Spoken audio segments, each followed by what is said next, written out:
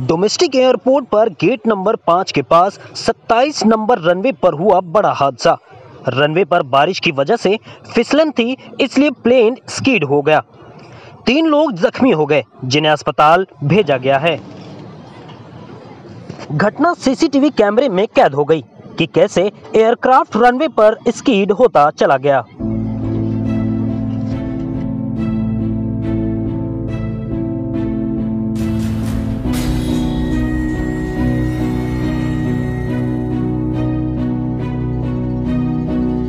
Express news Hindi पर। Video देखने के लिए करें लाइक शेयर और सब्सक्राइब बेल आइकन दबाना ना भूलें।